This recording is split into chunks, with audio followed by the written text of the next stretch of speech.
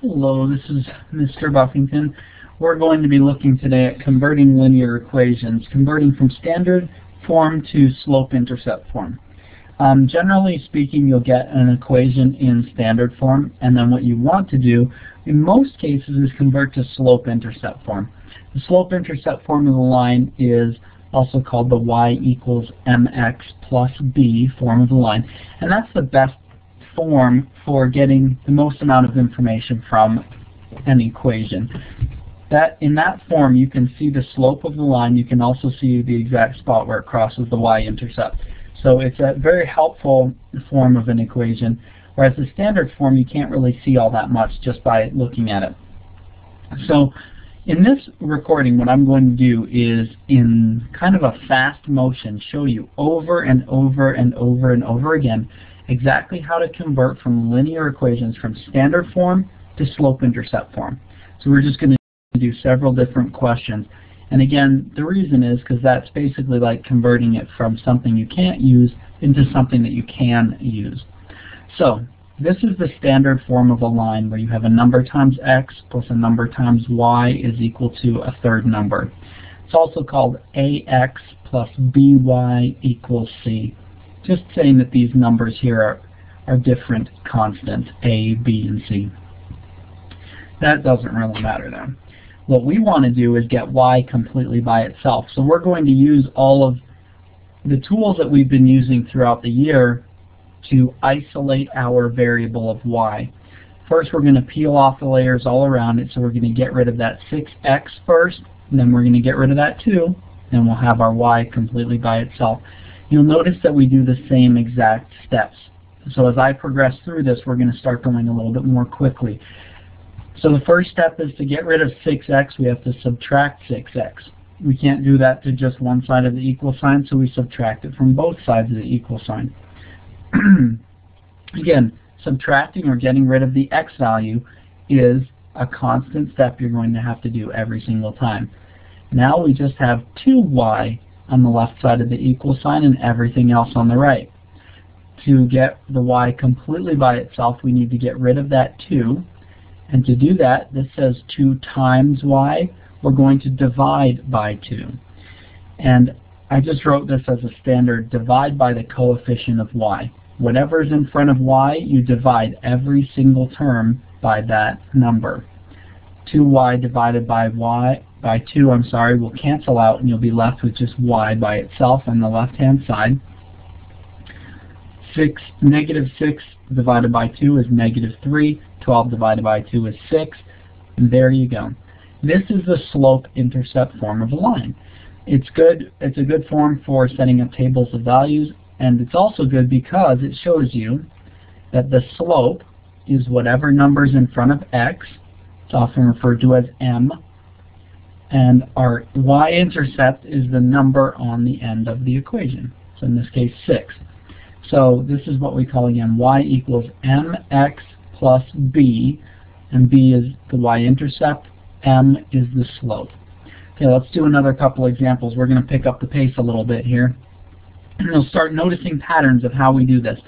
First step, subtract the x value from both sides of the equation. In this case it was 3x, so we take away 3x, getting rid of it from the left side of the equation, leaving us with 4y is equal to negative 3x plus 16.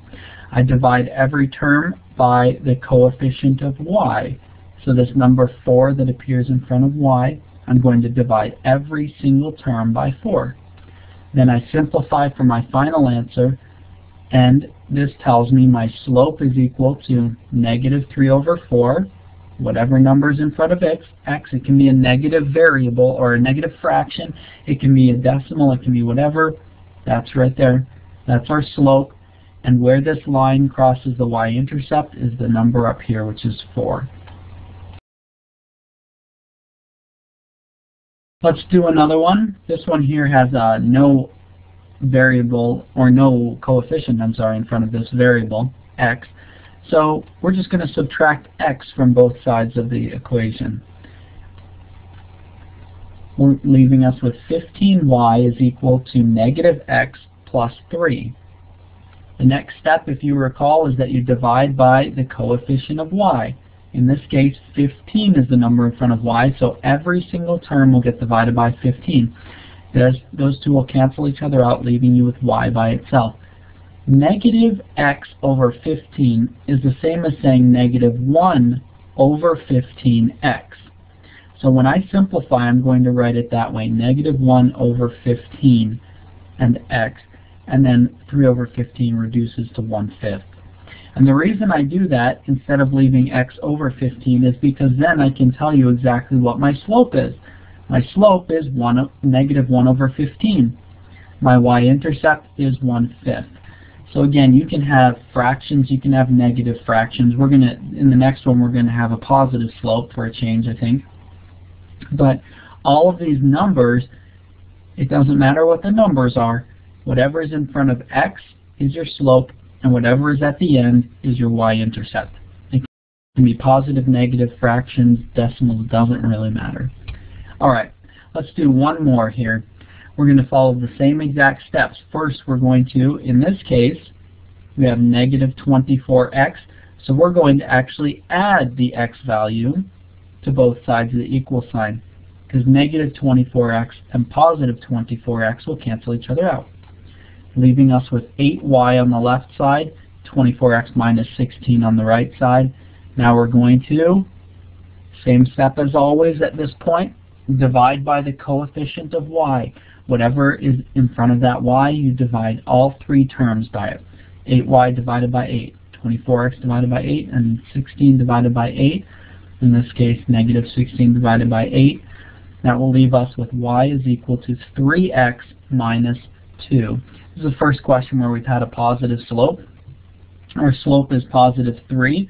Again, whatever number is in front of x is our slope, and the y-intercept is negative 2. In other words, this line crosses the y-intercept at the point 0, negative 2.